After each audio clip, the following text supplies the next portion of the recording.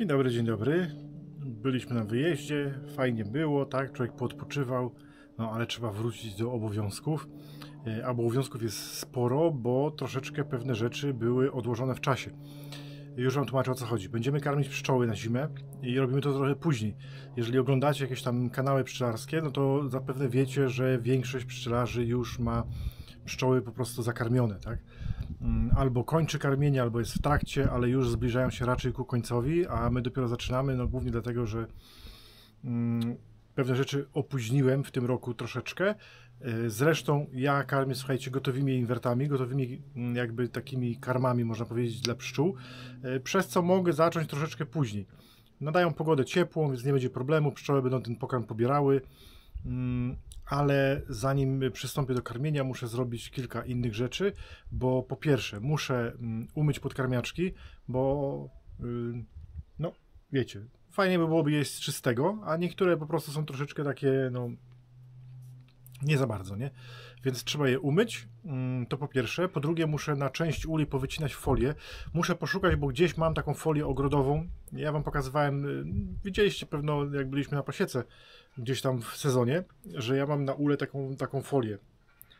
Bo Burnat do swoich uli ma taką twardą folię, która wchodzi jakby w światło ramek, ale ja zauważyłem, w zeszłym roku y, było tak, że zimowałem odkłady. Zimowałem 40 odkładów, które były zrobione y, w zeszłym roku i zimowałem właśnie, one już w tym roku były rodzinami. Ale zauważyłem, że w odkładówkach przynajmniej, nie wiem jak w dużych ulach, bo dużych uli nie zimowałem na tych twardych foliach, ale właśnie odkładówki, to jest taka folia, mm, którą się wkłada pomiędzy podkarmiaczkę a ramki. Głównie po to, że jak się da podkarmiaczkę, powałko podkarmiaczkę, bo Burnat ma takie fajne powałko podkarmiaczki, które wchodzą w, świat, w światło ramek, to jeżeli by to postawić na ramkach, to one tam dziką zabudowę, takie różne mostki będą do podkarmiaczki, ramki kleiły. I potem jest tak, że chcemy wyjąć podkarmiaczkę, ramki przyklejone, wyjmujemy, rozszarpujemy razem z ramkami, po prostu straszna sprawa. I po to jest zrobiona taka specjalna folia. Ja wam później pokażę tą folię. Jest zrobiona taka specjalna folia, ma dwa otwory, żeby pszczoły tymi otworami mogły wchodzić do podkarmiaczki, że daje się folię na ramki, na to powałko podkarmiaczkę i mm, do tej y, folii nie za bardzo budują, a nawet jak budują, no to po prostu jednym ruchem, tak jak kratę odgrodową, y, zrywamy i sprawa jest załatwiona. Więc y, zauważyłem w odkładówkach, jak zimowałem właśnie, mówię, 40 odkładów było zimowanych y, w tym roku mm, i zauważyłem, że pod tą twardą folią bardzo często w połowie ramki, tak jak drut idzie, były, słuchajcie, larwy motylicy larwy motylicy i to jakby no też spowodowało, że było pełno jajeczek w tych ramkach gdzieś tam tego i y, potem były takie szkody, y, że wiosną, że pokazywałem wam, paliłem tutaj na podwórku sporo tych ramek, no bo się okazało, że są po prostu przez motylicę zeżarte.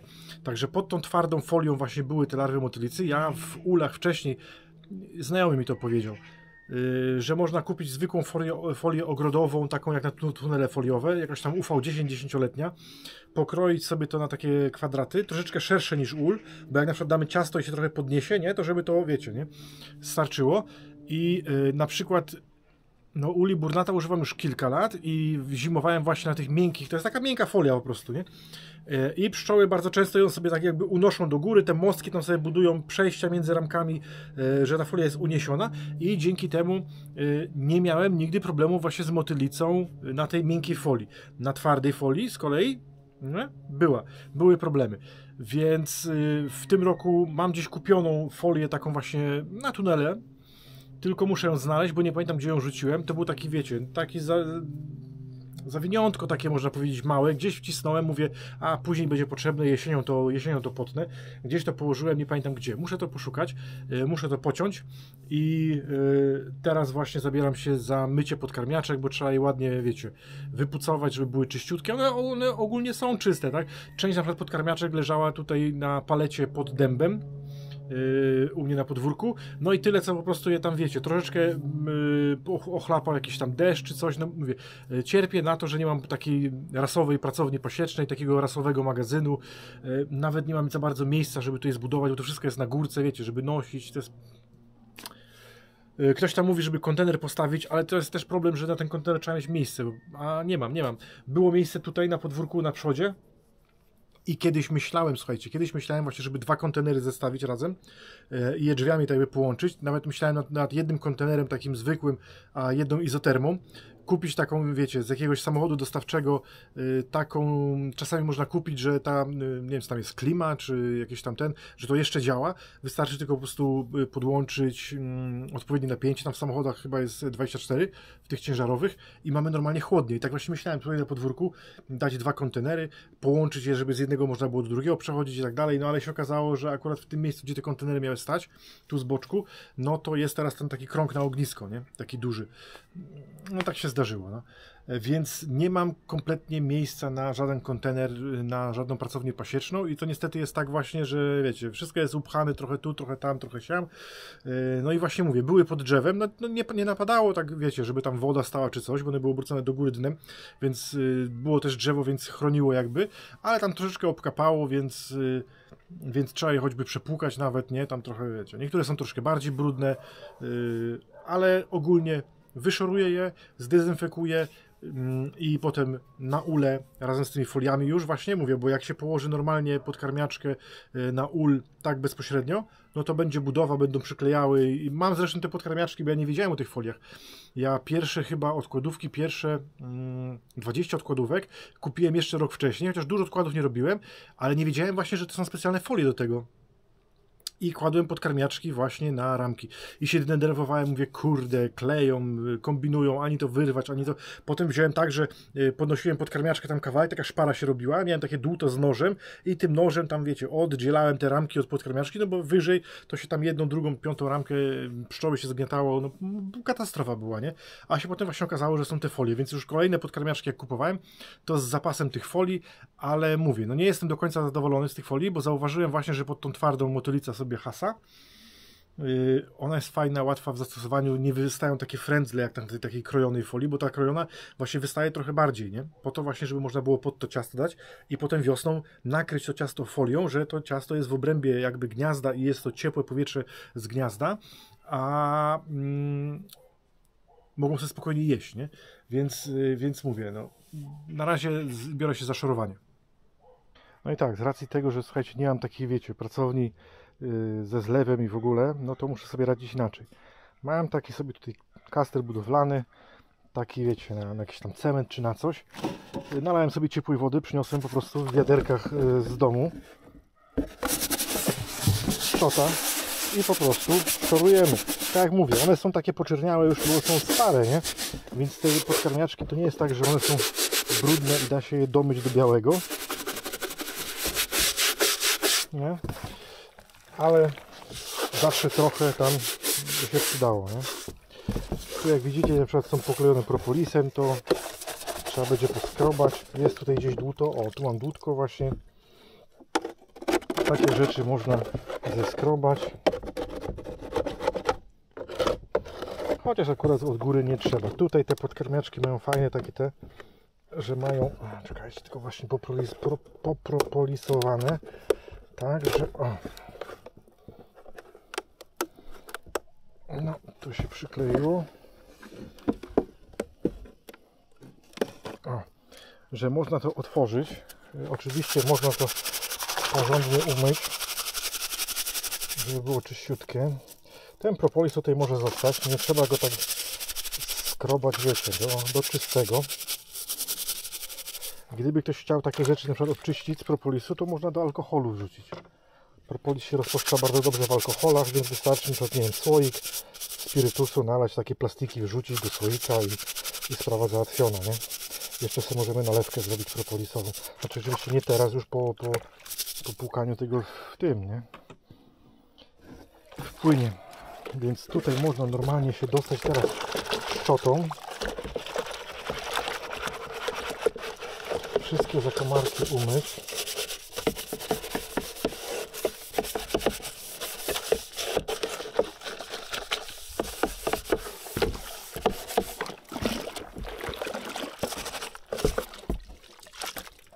Tutaj na dnie bardzo często właśnie pszczoły próbują kitować, jak im się skończy na pokarm, nie?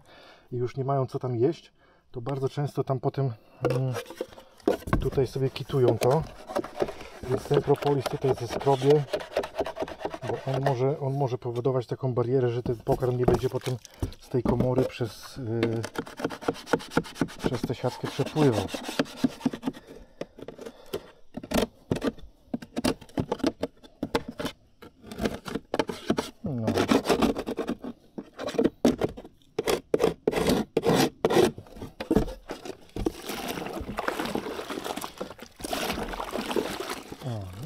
Super, słuchajcie. No już czystsza nie będzie. Nie będzie tak, że się jakby ten styropian zrobi, wiecie, śnieżno-biały, bo już swoje lata ma. Ale z grubsza takie wyszorowanie szczotą jest ok.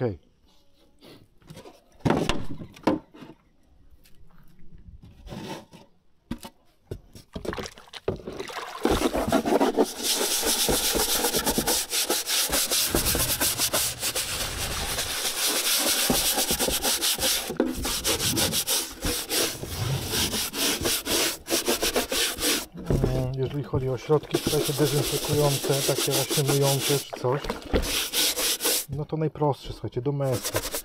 Zwykły domestos. Nalewacie trochę do wody i też nie za dużo, żeby Wam rąk nie popaliło. Kto chce, to może oczywiście w rękawicach pracować. Ja za bardzo nie lubię w rękawicach, także pracuję bez.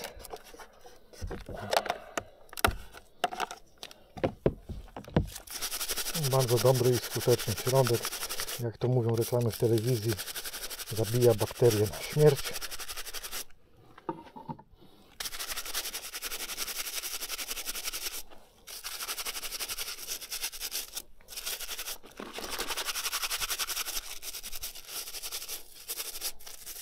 No. I tak wystarczy.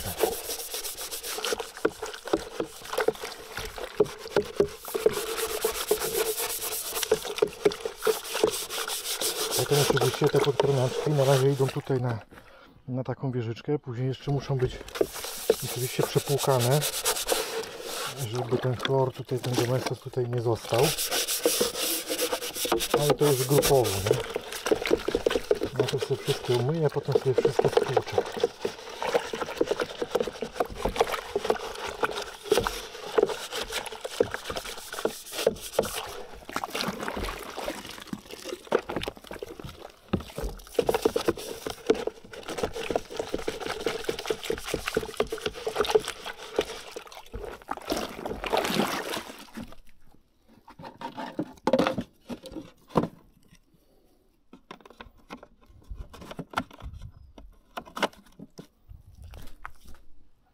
O, proszę, tu właśnie macie taką podkarmiaczkę. Jak widzicie są ślady propolisu, nie?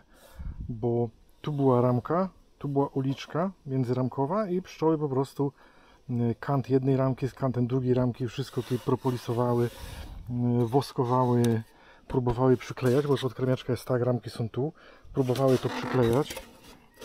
Y, Tu zresztą widać tak samo są uliczki, bo akurat ta podkarmiaczka by- była wiosną używana mm, do podłożenia ciasta, bo te podkremiaczki są o tyle fajne, poczekajcie, wezmę korpus, mam tutaj korpus chyba jakiś pusty, nie, akurat mam z ramkami, to wam, no ale dobra, poczekajcie chwileczkę, zdejmę jedną ręką, to wiecie co, o, tu mam jeszcze jedną podkremiaczkę też, o, ale o co chodzi, słuchajcie, już wam pokazuję. E, Normalnie podkarmiaczka wchodzi tak, nie? I lejemy syrop, pszczoły sobie tędy, e, tędy dziurami wchodzą od dołu tutaj, przechodzą sobie tu i tu sobie jedzą pokarm. Ale i ta podkarmiaczka, jak widzicie, nie jest kolejnym elementem ula, nie? Ona wchodzi tutaj w obrys ramki. I to ma plus taki, że wiosną na przykład, jeżeli chcemy podać ciasto, bo jest bida, to robimy tak. Ona się tutaj mieści. Pod spodem mamy dystans taki, że mieści się nam ciasto bez problemu. Pszczoły sobie tutaj wchodzą i mają pod spodem ciepło. Jest tutaj nadal wentylacja tymi otworami, nie? I pszczoły jedzą ciasto, jest ciepło, nie wychładzamy gniazda. I właśnie tak było używane i zresztą widać tutaj właśnie, że też próbowały te ramki tutaj kleić do tego, jak to stało tak. No, tak to pszczoły robią. Dlatego właśnie są specjalne folie z takim wycięciem tutaj. Akurat nie mam tutaj, ale zaraz Wam pokażę. No, Folię też trochę można przepłukać. I to jest właśnie taka stała folia z otworami tutaj. Idzie tak, idzie tak. Dziury są tutaj. No to akurat tu jest za dużo ramek, nie? Bo nie ma szpar, ale normalnie tędy sobie wchodzą do góry, nie ma problemu.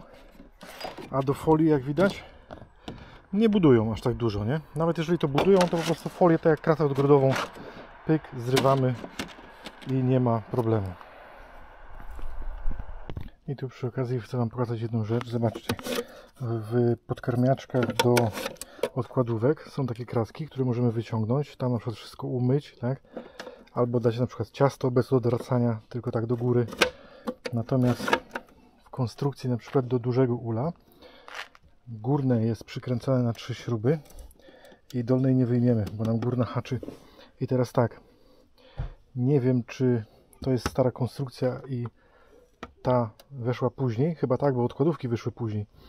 E, ale nie wiem, czy na przykład w tej konstrukcji teraz nie mają już w podkarmiaczkach do dużych uli. Muszę zobaczyć na stronie, bo muszę powiedzieć, że to jest o wiele bardziej przemyślane i sensowne, że można to wyjąć, nie? Bo zobaczcie, tu mam jakieś padłe pszczoły, nie? O. Gdzieś tam weszły, zostały, padły, nie? Muszę je stąd wyjąć. Nie jestem w stanie ich przeklepać, żeby one mi wypadły tutaj, więc muszę to po prostu rozkręcić teraz. Gdyby było wyciągane, to bym tylko wyjął, szczotką umył i sprawa załatwiona? No, dzień dobry, dzień dobry. Kolejny dzień w Wąchocku. Słuchajcie, a ja dzisiaj tak yy, inaczej, tu o paluszek, tak? Inaczej. Staram się pewne rzeczy ograniczać i pomyślałem sobie, że może by trochę mleko ograniczyć. Chociaż ja i tak piję mleko tylko i wyłącznie do kawy latte. Mm, ale dzisiaj pomyślałem, że sobie ograniczę i piję sobie espresso. Przy okazji, słuchajcie, jeżeli znacie jakieś fajne, smaczne, aromatyczne kawy właśnie do espresso, do ekspresu, yy, to dajcie znać. Bo ja kupowałem do tej pory jakieś, wiecie, kremę, coś tam, quality, co, ten, ten, takie pod, podlate bardziej, nie? I powiem wam, że jako, jako espresso ta kawa no nie przemawia do mnie, nie przemawia do mnie. Yy, co dzisiaj będzie, słuchajcie? Będzie tak. Będzie dalej mycie podkarmiaczek i dezynfekcja, bo nie skończyłem. W, trochę tam mnie pogoda zmusiła do tego wczoraj, żeby już skończyć, bo zaczęło padać. Ale byłem w paczkomacie i przywiozłem sobie, słuchajcie, paczki. I pootwieramy sobie jak zwykle. Tu mam taką jedną wielką kozacką paczkę. A, tu jeszcze to jest takie wielkie pudło, to zaraz zobaczycie. Mm, bo, bo, bo, bo, bo, bo kupiłem parę rzeczy. Yy, bo kupiłem parę rzeczy, które mi są potrzebne. Tak, tu kupiłem tak, zrębki wędzarnicze, bo jak wiecie to mam borniaka. Nie? dwie paczki zrębków wędzarniczych i tak na dobrą sprawę ja mam zrębki do borniaka i te zrębki wcale mi nie były potrzebne. Było mi potrzebne to, co było w tej paczce, ale brakowało mi do jakby do, wiecie, do darmowej dostawy, nie? Mm, więc musiałem sobie zrębki dorzucić, ale mogą leżeć, nie ma problemu, tak? A tutaj słuchajcie, i to się wiąże jakby też to się wiąże też z tym, jakie filmy y, będę robił odcinki na, na, na kanał. Yy, tu słuchajcie, dwie takie rzeczy, dwa cukromierze. Będzie odcinek mm, będzie odcinek o miodach pitnych. Będziemy sobie robić miody pitne. Yy, trójniaka sobie zrobimy, jak zwykle, nie?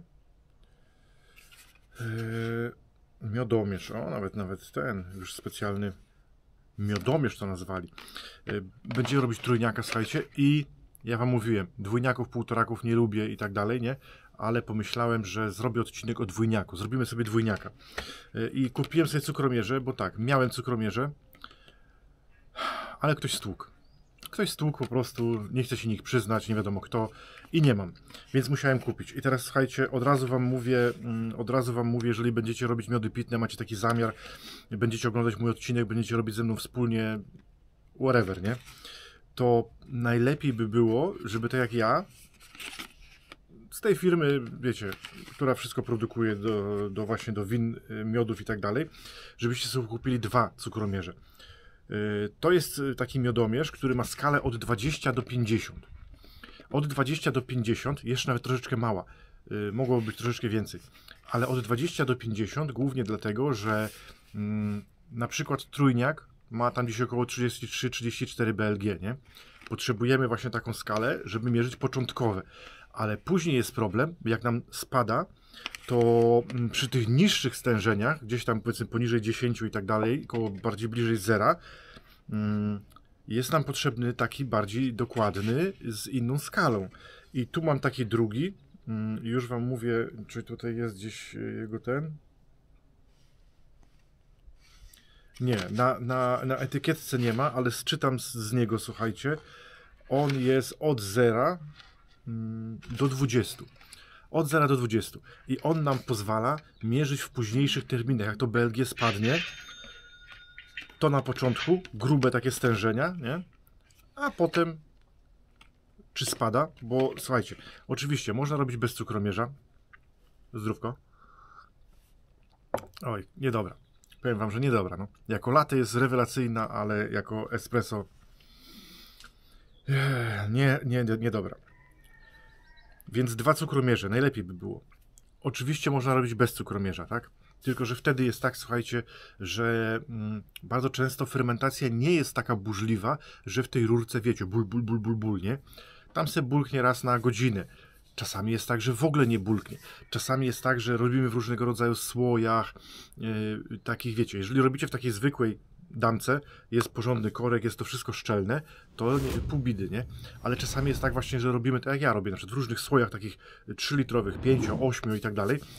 Te zakrętki tam, wiecie, one są plastikowe, tam czasami nie ma styku. Tam gdzieś ten gaz ucieka, a nie naszą rurką, nie? I my mówimy, nie pracuje, nie pracuje.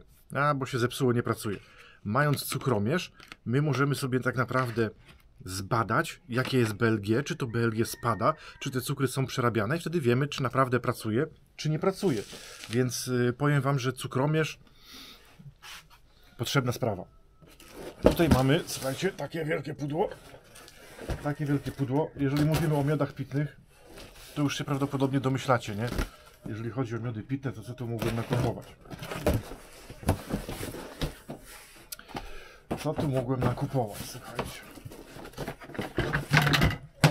Proszę bardzo, co ja nakupowałem? Nakupowałem sobie dwa fermentory, bo zazwyczaj robię miody pitne w takich mniejszych ilościach. I fermentory sobie, słuchajcie, kupiłem tak. Są już dziurki nawiercone. Mm, potem to będziemy, będzie odcinek jakby osobny o tym, tak? Teraz wam tylko taką zajawkę powiem. Nie chcę się ten, tu się urwał worek, no. Jak na złość, jak chciałem otworzyć, wam pokazać. O, jest, dobra, udało się. Tu jest taki specjalny zaworek który wkręcamy, później nam to pomaga zlewać z nadosadu. Nie? Rurka fermentacyjna, słuchajcie, i, i, i, i rurka fermentacyjna, tak zwana cicha. Ta robi głośne takie bulk, bulk, bulk, bulk. Więc jeżeli macie na przykład yy, taką sytuację, że fermentory na tą taką burzliwą fermentację, żeby to trzymać w temperaturze, wiecie, pokojowej, musicie trzymać w domu, czy w przedpokoju, czy tam, nie wiem, w sypialni koło łóżka, no to ta rurka będzie tak, wiecie, bulk, bulk, bulk, nie? Mnie to wszystko jedno, ja przy tym mogę, mogę zasnąć, mnie to nawet uspokaja, ale wiecie, żona, mm, nie mogę zasnąć, bo to bulgocze i tak dalej, nie? Więc po to wymyślono rurki takie, to jest tak zwana rurka nocna, rurka cicha. Ona też wydaje dźwięk, ale na tyle stłumiony. Ja to zresztą na TikToku w zeszłym roku bodajże pokazywałem.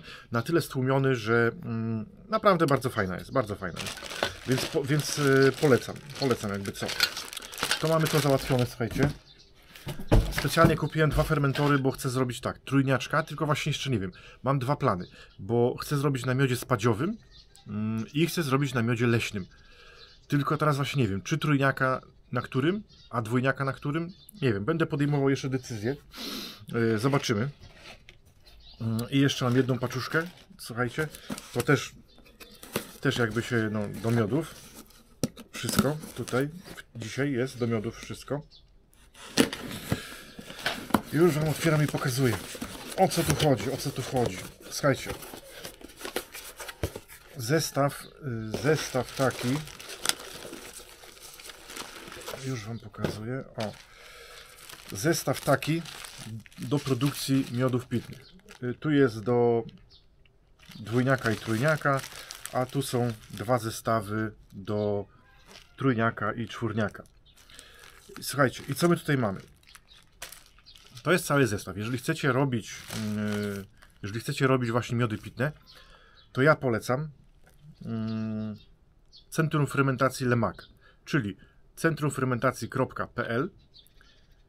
Tam mają takie gotowe zestawy, słuchajcie. Co więcej, co więcej, yy, wpisując w koszyku pszczelarz 2024 dostaniecie 10% zniżki. Yy, już tam na TikToku się mnie ludzie czepiali, że płatna współpraca i tak dalej, więc ja pokazuję, słuchajcie, Paragon, ja również kupuję. To nie jest tak, że ja coś tam za darmożkę dostaję, kupuję. Jest Paragon, jest Lemak napisane wyraźnie, tak. Taki załatwiłem, kod promocyjny dla y, obywateli właśnie obserwujących mój kanał. Y, I o co chodzi, słuchajcie. Mamy tak, mamy zestaw startowy ze wszystkim. Mamy taką uloteczkę, jakie są polecane na przykład szczepy y, do win owocowych, różnych. Tutaj mamy o, o enzymach troszeczkę, pektolitycznych takie informacje. I teraz słuchajcie tak, otworzę sobie jedno i Wam powiem od razu tak, w składce takiego zestawu co wchodzi. Drożdże, tu akurat są do trójniaków y, UCL MS325. Mineralna i organiczna pożywka do drożdży, preparat do uwadniania, bentonit do klarowania, pirosiarczyn potasu do, wiadomo, dezynfekcji, tak? Więc mamy wszystko, co jest nam potrzebne. Bo ja na przykład tak, ja robię miody pitne częściej, tak? Robię sobie w takich małych słojach, w takich powiedzmy damkach, wiecie, 3-litrowych, 5-litrowych, więc y, ja wiem, że dużo na przykład pewnych rzeczy będę używał, nie? Więc pożywki mam po prostu więcej kupione, mam pół kilograma. Jeżeli chodzi o pirosiarczyn, to kupiłem sobie w sklepie e, z odczynnikami chemicznymi, cały kilogram pirosiarczynu, bo do tego idzie, tak? Bo dezynfekować trzeba, e, dezynfekować trzeba, więc yy, po prostu dużo, nie? Kupuję, ale jeżeli wy na przykład chcecie sobie zrobić jeden nastaw tylko, i nie wiecie, czy tam ta zabawa, powiedzmy, w robienie miodów pitnych wam się spodoba, czy nie. I nie wiecie, czy nakupować tego pełno, bo po co potem z tym zrobicie? Wyrzucicie? No bez sensu, nie? To właśnie taki zestaw jest fajny, bo to jest zestaw, który pozwoli Wam zrobić, y, to jest akurat, słuchajcie, tak, porcja na 25 litrów, czyli fermentor sobie kupujecie albo 25 litrów, mm, albo ewentualnie 30-litrowe są też takie pojemniki y, i, i ten, nie? I super fajnie. Są też porcje dla miodosytników, 250 litrów, duże takie. I co ja wam powiem? Yy, w centrum fermentacji Lemak jest o tyle fajnie, że jak do nich napiszecie, zadzwonicie yy, maila tamtego, to wam zawsze doradzą. Super chłopaki, naprawdę doradzą i, i ten. Tu jeszcze tak, jest metryczka, taki dziennik fermentacji, słuchajcie. I ja wam powiem, że jest to bardzo istotne, bardzo istotne. Ja jak zacząłem robić pit, mody, miody pitne, to nie notowałem. Czekajcie, do, dopiję tą ohydną kawę. E, nie notowałem. I potem jest właśnie taki problem, że nie jestem w stanie sobie przypomnieć, wiecie, jak zrobisz jeden miód pitny, to tam mniej więcej pamiętasz, kiedy ile dawałeś, jakie były tam BLG i tak dalej, nie? Ale jak robisz powiedzmy ten drugi, trzeci tego, to się wszystko miesza. A w tym było na przykład tyle, czy ty w tym... I to jest bardzo ważne. I to jest bardzo ważne. Ja zresztą, jak będę robił jeszcze odcinek o miodach pitnych, bo będę robił też taki poradnik, to ja wam wszystko powiem, ale to jest bardzo istotne. Słuchajcie, data nastawu, objętość, surowiec, na czym było, jakie drożdże użyte, yy, pożywki, preparaty i tak dalej. Taki dzienniczek, tutaj są daty, kiedy co dosypaliście, jaka była temperatura, jakie było BLG, pH, jeżeli mierzycie na przykład. Bardzo przydatne, bo pozwala wam to, słuchajcie, na przykład, co istotne, powtórzyć proces powtórzyć proces, bo się wydaje, wiecie, niektórym się wydaje, że robienie miodów pitnych to jest, wiecie, a miód, y, woda, wymieszamy, drożdże, sru zrobione i ten, nie? Nie, tak nie jest. Bo jest wiele czynników, właśnie od tego, jaką pożywkę zastosujecie, kiedy ją dodacie i tak dalej. No jest wiele czynników, temperatura, na przykład yy, kwasowość, czy dodaliście kwasku, czy nie, które może wpłynąć później na smak, i dwa nastawy zrobione, powiedzmy, nie wiem, w tym roku zrobiłem sobie na lipowym jakiś nastaw, za rok zrobię sobie na lipowym nastaw, a finalnie może mi wyjść co innego, bo pewne inaczej rzeczy zrobię, tak? Więc warto jest właśnie mieć taką notatkę, nawet potem trzymać ze starego miodu i mam na przykład yy, wiadro lipowego, które mi super fajnie wyszło, to mogę się, wiecie, cofnąć do pewnych rzeczy i spróbować to jakby powtórzyć, tak? Żeby było. I jeszcze co ważne, jeszcze co ważne, słuchajcie, to do tego zestawu startowego dostajecie taki protokół produkcji miodu pitnego. Taką karteczkę, gdzie jest dokładnie zapisane, co musicie zrobić, kiedy dosypać, ile dosypać i tak dalej. Bardzo przydatna rzecz, nie? A tutaj jeszcze z drugiej strony, o się, karteczki się złożyły, czekajcie. Macie suplementację. Tu są wykresy dla takich bardziej zaawansowanych e, osób, które tam się tym interesują kiedy, co, po co, na co rośnie, maleje i tak dalej, nie? Więc, więc tak jak mówię, warto sobie taki zestaw kupić. O, czekajcie, telefon dzwoni.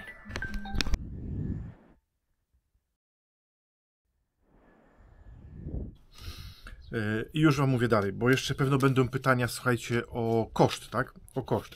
Pokażę Wam tutaj, złapię ostrość. Nie wiem, taki mały ekran w tej kamerze, więc nie wiem, czy załapało ostrość, ale Wam powiem. Yy, zestaw startowy do miodu trójniak, czwórniak, yy, czyli ten, 22,95. Ja akurat kupiłem dwa, nie? Do dwójniaka 27, tam 5 zł jest droższy. No i Inpost paczkomaty 16,99. Tak to mniej więcej wygląda. E, ja myślę, że za komplet rzeczy, które są potrzebne, to nie jest dużo, tak? Można oczywiście kupować wszystko osobno, oddzielnie, ale tu mamy taki zestaw cały, który jest nam potrzebny, razem z konkretnym przepisem, jak go zastosować, więc ja uważam, że cena jest bardzo dobra. Mówię, ja z Centrum Fermentacji Lemak korzystam od jakiegoś czasu dłuższego, zresztą na moich filmach na moich filmach, y, gdzie tam na TikToku na przykład pokazywałem, właśnie robiliśmy ten miód y, z kokosem i mango, tak? Y, malina, jeżyna. Tam właśnie pokazywałem Wam głównie zastosowanie tych drożdży, tak? Więc bardzo fajnie pracują. Mm, są sprawdzone. I co? I paczki otworzone. Słuchajcie, fermentory są, zaraz kraniki tutaj zakręcam. Przygotuję sobie miód. No i do roboty, nie? Potem jeszcze muszę te podkarmiaczki umyć i, i odkazić i też Wam o tym opowiem, bo jest pewien środek, o którym bym Wam chciał opowiedzieć, yy, bo jest bardzo dobry. Jeżeli chodzi o grzybicę na przykład, tak? Ogólnie on jest przeciwbakteryjny, przeciwgrzybiczny, przeciwwirusowy yy, i, yy, i Wam o nim opowiem chwileczkę. Może zrobię odcinek w ogóle o tym środku, bo powiem Wam, że od dwóch czy trzech lat Mm, jest duży nawrót grzybicy. Y, są na Facebooku właśnie takie bardzo często zdjęcia. A co to to się porobiło, że pszczoły takie tutaj wynoszą przed ul, wyrzucają białe takie albo czarne. Więc jest nawrót taki od dwóch, już nie było tej grzybicy bardzo długo, ale jest właśnie od dwóch czy trzech lat taki nawrót, że widać znowu przypadki. Jest tak czasami, że ona się wiosną pokazuje, później się tak troszeczkę wygasza, jak się sezon zaczyna, potem jesienią nawraca, tak? I, i no był problem, tak? Wymiana matek, dezynfekcja sprzętu i tak dalej, nie? A w tym roku jest środek na to i ten środek, słuchajcie, stosowali pszczelarze tutaj mm, u mnie. I to tacy duzi pszczelarze, którzy mają po 300 rodzin pszczelich, są bardzo zadowoleni. Mówią, że właśnie poradzili sobie w końcu, bo ta grzybica mm, od dwóch lat właśnie nawracała cały czas. Nie? Były takie wyrzuty, można powiedzieć, wysypy tej grzybicy i poradzili sobie z nią. Więc y, o tym środku zrobię odcinek, ale ten środek właśnie, słuchajcie, to jest na bazie nanosrebra i ten środek jest również, może być używany do dezynfekcji sprzętu zarówno takiego jak miodarki, odstojniki, sita, cedzidła i tak dalej, jak i sprzętu takiego typowo mm, w środowisku ulowym, czyli dennice, korpusy, podkarmiaczki właśnie, tak, y, więc ja sobie go w tym byłem w Brico, nie? I kupowałem dwa opryskiwacze. To jeden właśnie jest do tego środka, mm, po to właśnie, żeby te wszystkie podkarmiaczki zdezynfekować, zanim, zanim je dam. E, I jeszcze ten środek, słuchajcie, można stosować w syropie cukrowym, podawać go pszczołom, co właśnie jest y, zalecane y, przy tej grzybicy, albo w oprysku. I ja Wam powiem, że ja w tym roku spróbuję sobie jedną część pasieki, mm, jedną część, te rodziny, które kupiłem, bo mi się wydaje właśnie, że mm, no nie właśnie niektóre z tych rodzin kupnych, które kupiłem, tam był problem z tą grzybicą. Tam był problem i, i tam sobie zastosuję właśnie oprysk, mm, bo można pryskać, więc jak będę przeglądał rodziny, będę ustawiał gniazda i tak dalej, to zrobię sobie takie stężenie właśnie na oprysk na pszczoły, opryskiwacz wezmę i każdą ramkę po pszczołach siurnę sobie opryskam, bo to jest taki preparat, słuchajcie, co nie zaszkodzi, a być może pomoże, tak? Więc, yy, więc będzie o tym chyba odcinek, myślę sobie. No, słuchajcie, jeszcze chwilowo będzie jedna wstawka, bo dostałem właśnie paczkę. Przyjechał kurier z DHL-u, od pana Marka dostałem paczkę. Nic nie zamawiałem DHL-em, więc więc, więc, więc, słuchajcie, jest, jest liścik, jak najbardziej, przeczytam. Witam. Kiedyś panu obiecałem, że wyślę panu książkę o pszczelarstwie. Może pan tego nie pamiętać, więc w końcu nadszedł ten dzień. Książka należała do mojego dziadka, który zajmował się pszczelarstwem amatorsko. Życzę miłej lektury i pozdrawiam pan Marek. No i słuchajcie, rzeczywiście jest tutaj książka mm, Antoniego Linkę, słuchajcie, 56 rok pszczelnictwo. Ja wam powiem, że uwielbiam, uwielbiam takie książki. Bardzo często w takich książkach jest o wiele więcej takiej treściwej wiedzy niż w książkach współczesnych. Bo są autorzy na rynku polskim, którzy są bardzo płodni, jeżeli chodzi o książki i zarabianie na książkach, ale ich książki to jest, można powiedzieć, lanie wody. Kiedy ja zaczynałem pszczelarstwo, to kupowałem różne książki, różne książki czytałem i były takie, z których miałem bardzo dużo ciekawej wiedzy i były takie, które przeczytałem i nie wiedziałem nic. I y, tacy starsi pszczelarze y, będą wiedzieli o kogo chodzi i o jakie książki chodzi, bo jest to pan znany w środowisku pszczelarskim właśnie z tego, że pisze o niczym. Umie rewelacyjnie pisać książki, bardzo dużo ich napisał, o ile oczywiście w ogóle on je napisał, a nie jakiś, wiecie, ghostwriter. Mm, ale no, także ja bardzo właśnie lubię. Bardzo dziękuję Panie Marku. Bardzo dziękuję Panie Marku za książeczkę. Na pewno przeczytam. E, teraz się zbliżają długie, zimne, chłodne wieczory, więc napalę sobie w komineczku. E, tam wiecie, siądę sobie i sobie właśnie będziemy czytać. Piękne jeszcze rycinki są do tego. Rewelacja, rewelacja. No. Bardzo dziękuję.